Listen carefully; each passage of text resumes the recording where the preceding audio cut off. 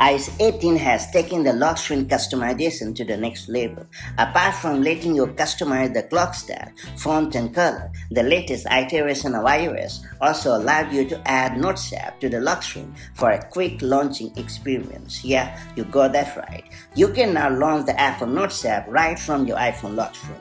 That said, let me show you how it's done the quick. So to get started, you have to activate the lock screen on your iPhone by pressing the power button. After that, you have to authenticate using your Face ID or Touch ID. And then you have to long press on the lock screen.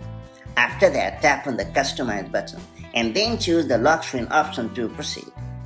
Next up, you have to tap on the minus button at the top of the icon you want to get rid of. Then you have to tap on the plus button. After that, you have to find the Open App icon and then select it. Then you have to tap on the Choose button.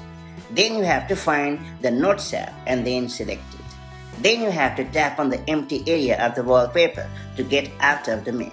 And finally you have to tap on the Done button at the top right corner of the screen and you are all set. Going forward, you can launch the Apple Notes app by just pressing its icon on the lock screen.